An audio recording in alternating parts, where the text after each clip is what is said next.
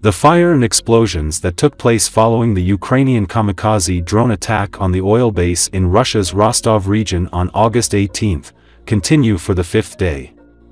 Firefighters involved in the area said that successive explosions are increased, adding that their lives were in danger. As can be seen from the footage spread on Telegram channels, firefighters are trying to leave the area and escape. The firefighters believe that their colleagues near the fire are dead. It should be noted that the fire, which has been going on for five days, covers an area of more than 10,000 square meters. A large number of fuel tanks have burned.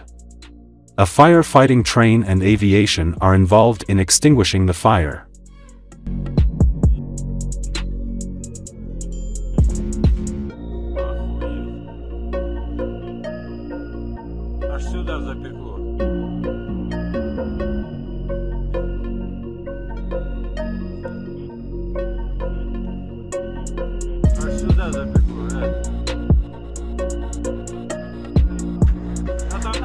Там пизда всем пацанам, кто там был.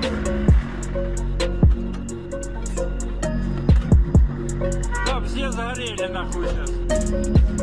Все сгорели нахер.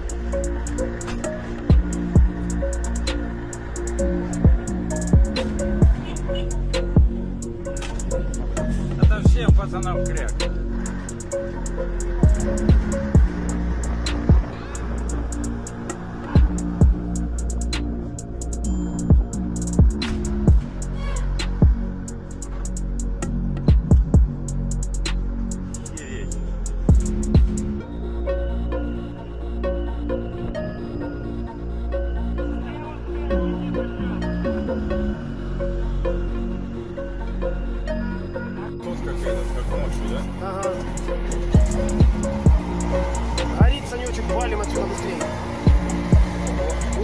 короче, жара.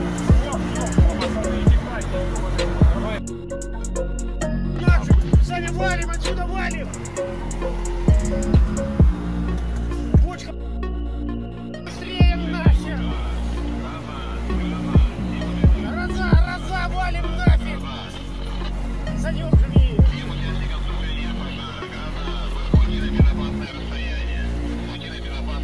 Да выходим, мы выходим! The Ukrainian military operation in Russia's Kursk region and the forced evacuation of thousands of Russians could seriously test Putin's authority. Pro Kremlin military bloggers have criticized the Russian Defense Ministry, and at least one oligarch, Oleg Deripaska, has already publicly condemned the war. American researcher of Soviet and Russian history, Amy Knight, wrote in a column for the Wall Street Journal. The author recalled how Deripaska criticized the Kremlin's defense spending, called the war in Ukraine insane, and called for an immediate unconditional ceasefire.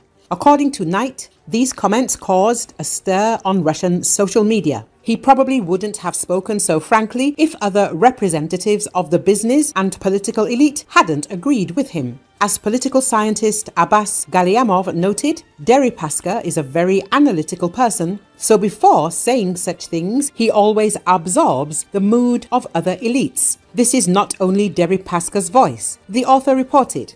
She suggested that Putin's assistant, Nikolai Patrushev, could also be among this elite. Ordinary Russians, fed a constant stream of propaganda about protection from the evil West, are unlikely to protest. But Putin's elite support, which is essential to his continued rule, is less clear. He should not assume that they will forever support a war with no end in sight. Knight concluded. Putin has given his troops just over a month to push Ukrainian armed forces out of the captured territories of the Kursk region. As RBC Ukraine reports, citing a source in the military political leadership, the occupation forces received instructions from Putin to liberate the Kursk region by October the 1st. It is noted that their task is to do this without removing forces from key areas where Russia is conducting an offensive in Donbass, primarily in the Pokrovsk and Toretsk directions. In fact, the Russians are now trying to send a mix of units to the Kursk region from all directions on the front, except for Pokrovsky and Toretsky.